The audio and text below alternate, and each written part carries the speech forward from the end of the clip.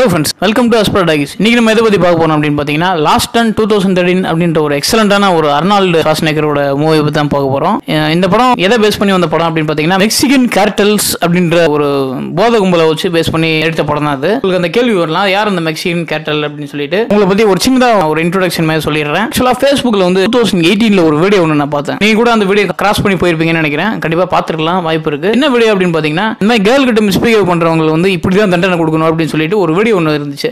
அது என்னடா வீடியோ அப்படின்னு சொல்லி அப்படி என்னடா பயங்கரமான பனிஷ்மெண்ட் அப்படின்னு சொல்லிட்டு வீடியோ தெரியாதனமா நான் ப்ளே பண்ணி தொலைச்சிட்டேன். பார்த்து சாப்பிடவே இல்லைன்னா பார்த்துங்களேன் அது அந்த இந்த வீடியோ ப்ளே பண்ண ஒரு ரெண்டு மூணு பேர் ஒருத்தனை வந்து ஸ்கின் அப்படியே ரிமூவ் பண்ணுறாங்க அப்படியே அவனை உயிரோட வச்சுக்கிட்டே ஸ்கின் அப்படியே ரிமூவ் பண்ணுறாங்க ரொம்ப பயங்கர கொடூரமாக இருந்துச்சு. பார்க்க முடியல. அப்படியே போயிடுச்சு. சரி அப்புறமா நான் என்ன பண்ணேன்? இந்த வீடியோ வந்து உங்களே அந்த கிட்ட மிஸ்பிஹேவ் பண்ணவன்ட்டு தான் தண்டனை அதுக்கு தான் கொடுத்ததா அப்படின்னு சொல்லிட்டு நான் நெட்டில் செக் பண்ண பாருங்களேன். அப்போ செக் பண்ணப்போ எனக்கு வந்த விஷயம் என்னன்னு பார்த்தீங்கன்னா மெக்சிகன் கேட்டல் அப்படின்ற ஒரு ரிசல்ட் வந்துச்சு.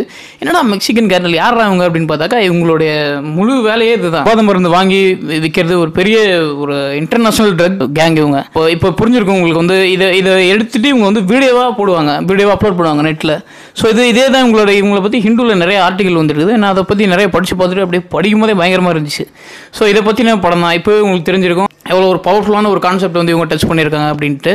இப்போ அவங்க ஸ்டோரிக்குள்ளே போயிடலாம். இந்த படத்தில் வந்து அர்னால்டு ஓவன்ஸ் அப்படின்ற ஒரு போலீஸ் ஆஃபீஸர் கேரக்டரில் நடிச்சிருக்காரு. சோமர்டன் அப்படின்ற ஒரு சின்ன டவுன் அரிசோனால இருக்கிற ஒரு சின்ன டவுனில் அவர் வந்து ஒரு போலீஸ் ஆஃபீஸராக இருப்பார். இந்த நிலமையில சிட்டியில் வந்து ஒரு ட்ரக் கேங் லீடர் ஹோட்டஸ் அப்படின்ற வந்து தப்பிக்கிறான். அவன் வந்து என்ன பண்ணுறான் தப்பிச்சுட்டு செவரோலட் கார் எடுத்துட்டு ஹோஸ்டேஜ் எலன் அப்படின்றவங்கள ஹோஸ்டேஜாக கூட்டு போகிறான் இவங்க போலீஸ் வந்து எவ்வளோ ஸ்டாப் பண்ண ட்ரை பண்ணுறாங்க யாராலையும் ஸ்டாப் பண்ண முடியல. அவன் வந்து நேராக எங்கே போகிறான் அப்படின்னு பார்த்தீங்கன்னா ஆஃபீஸர் பேனிஸ்டர் அப்படின்ற ஒரு என்ன பண்ணுறாரு அப்படின்னு பார்த்தீங்கன்னா இவ்வளோ பெரிய ட்ரக் கேங் வந்து ரொம்ப செக்யூரிட்டியாக இருக்கும். தப்பிக்கிறதுக்கு வாய்ப்பு இல்லை அப்படின்னு சொல்லிட்டு ஒரு ஒரு போலீஸ் ஆஃபீஸருடைய ஃபினான்ஷியல் பேக்ரவுண்ட் வந்து செக் பண்ணுறாங்க ஏன்னா யாரோடைய உதவியும் இல்லாமல் இவனால தப்பிக்க முடியாது. வெயிட்டாக யாரையோ கவனிச்சிருக்காங்க. அதான் வந்து இவங்களுக்கு வந்து ஹெல்ப் பண்ணியிருக்காங்க அப்படின்னு சொல்லிட்டு இவர் வந்து செக் பண்ணிட்டு இருப்பாரு. இந்த நிலமையில வந்து அர்னால்டு ஹெல்க்லாம் சப்ளை பண்ணுவார். ஒரு ரெகுலராக சப்ளை பண்ணுறவர் அந்த டவுனுக்கு அந்த அவர் வந்து வரலையே என்னடான்னு பார்த்தாக்க அவர் தேடி போறாங்க. இந்த இடத்துல ஒரு கார் டயர் இருக்கு இல்லையா? டயர் மார்க்ஸ் அந்த டயர் மார்க்ஸை ஃபாலோ பண்ணி போகும்போது அவரை வந்து சாவடிச்சுட்டு அந்த இவங்க தலைவனுக்காக வெயிட் பண்ணிட்டு இருக்காங்க. மொபைல் பிரிட்ஜும் ஒன்று இருக்கும். மொபைல் பிரிட்ஜ்னா ஒன்றும் கிடையாது. கார்ல ஒரு பெரிய ட்ரக் மாதிரி இருக்கும். அந்த ட்ரக்ல எடுத்துட்டு வந்து மொபைல் ஃபோன் மாதிரி என்ன வச்சுங்களேன் மூவபிள் பிரிட்ஜ் அது. மூவ் பண்ணி எடுத்துட்டு போகலாம். அந்த அந்த மாதிரி ஒரு பிரிட்ஜ் வந்து மெக்சிகோவுக்கும் யூஎஸ் ஆர்டருக்கும் நடுவில் இவங்க வந்து வச்சுட்டு தப்பிக்கிறதுக்காக பிளான் பண்ணுவாங்க. ஆனால் என்ன பண்ணுவார்?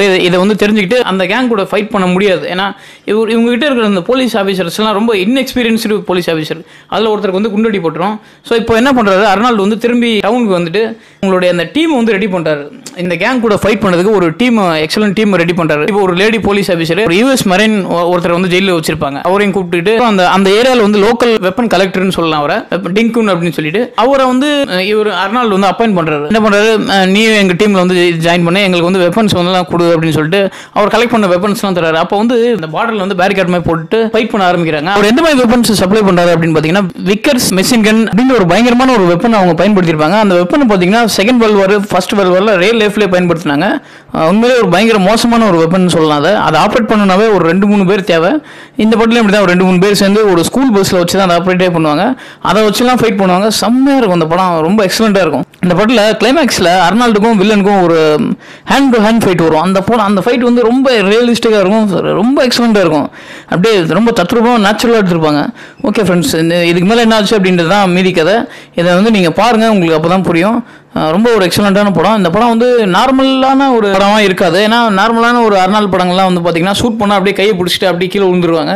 அவ்வளோதான் நமக்கு ஒரு பிளட்டு பிளட் செட்டை கூட நம்ம காட்ட மாட்டாங்க. ஆனால் இந்த படத்தில் வந்து அந்த விக்கர்ஸ் மிஷின் இருக்கு இல்லையா அதை வச்சு ஷூட் பண்ணும்போது ஒருத்தர் வந்து அப்படியே ரெண்டாக ரெண்டாக பிறந்து அப்படி ரெண்டு பீஸாக போய் கீழே விழுவார். ரொம்ப கொடூரமாக இருக்கும். ஸோ அது நீங்கள் வயலன்ஸ் படம்லாம் பார்க்க மாட்டீங்க அப்படின்னாக்கா கண்டிப்பாக இந்த படம் உங்களுக்கான படம் கிடையாது. ஸோ ஏற்கனவே ராங் டன் இதெல்லாம் பார்த்துருந்தீங்க அப்படின்னாக்கா இந்த படம் ஒன்றுமே கிடையாது உங்களுக்கு அப்படின்னு சொல்லலாம். ஓகே ஃப்ரெண்ட்ஸ் இதுதான் நான் ஷேர் பண்ணணும்னு நினச்சேன். நெக்ஸ்ட் வீடியோ உங்களை மீட் பண்ணுறேன்